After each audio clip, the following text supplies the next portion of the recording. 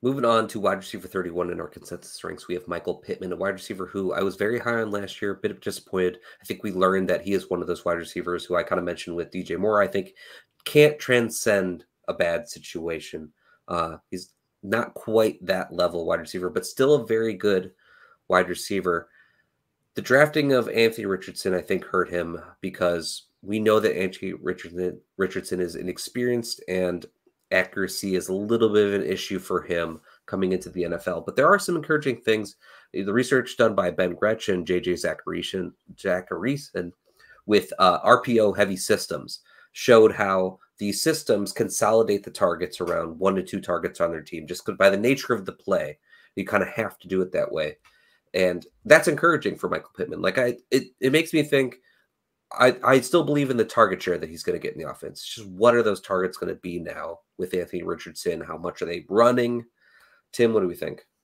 I really like uh, Michael Pittman, especially at this rank. I think he's, I think he's like pretty much free when it comes to where his upside could be. I understand all the concerns, especially based off of what we saw last year. I think a lot of people are snake bitten, and that's why they're they're. I think at least half your league is going to be in a void on Pittman, which means you can probably get him cheaper than this rank. But uh, just based on the target numbers, the target share, the volume he's going to get is going to be very, very good. And the question mark I have is how accurate is going is uh, Anthony Richardson going to be? But the consolidation of targets that you were talking about, the RPO, was something I already had built into my my thought process. Because my other question was going to be, who else is going to compete for targets? Like, um, I, I like Josh Downs. I'm forgetting the rookie they drafted last year, Pierce. Alec Pierce. Pierce. Pierce to me is more a boom bust player. I don't think he's a real volume receiver. Like he had some games like that last year, but like they, he didn't produce big numbers off of larger larger target numbers. So I think that Michael Pittman is the, the most one B or most uh, one A one B player in the league, where like he's not ever going to be an alpha, but like he gets close to alpha production in terms of targets and that's not something you can just go find.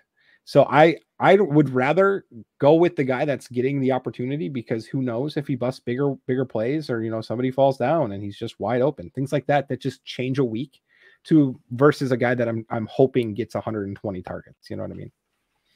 Jake, the highest on this our team actually wide receiver 26.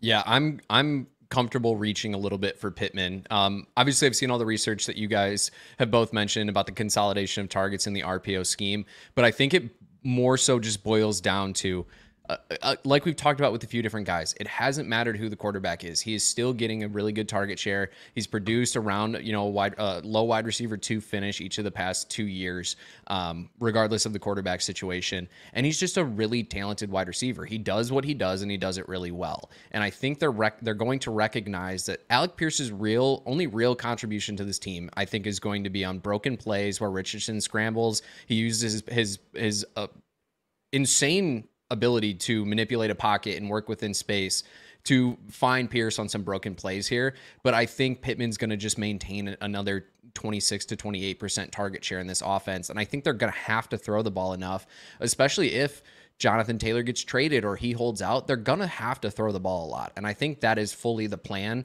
especially with the the new head coach there with Steichen coming in from the Eagles. We've seen what he can do with a wide receiver. He gives the wide receiver one a, a lot of targets, especially when the wide receiver two isn't uber talented. So I'm just not afraid of Pittman this year. I'm not afraid of Richardson coming in and being, you know, a knock on him. I think if there's anybody I'm confident in working really, really hard to get better, it's Anthony Richardson. And if he's going to do that, it's going to be through this offense where Michael Pittman is the the alpha, essentially. He's operating as the alpha. So for me, I'm just fully confident in him. I wasn't as confident coming into last year just because I had some concerns about Matt Ryan and his ability to still throw a football. I know Anthony Richardson can throw a football and I know he can throw it really, really hard. It's if he can find if he can find the the ability to kind of dial it back a little bit and just take what's given to him, Pittman's he gets open. It's all he does. He's an 80th percentile route winner in basically every aspect per reception perception. So for me, I'm just so confident in the player that the situation just worries me less. All right.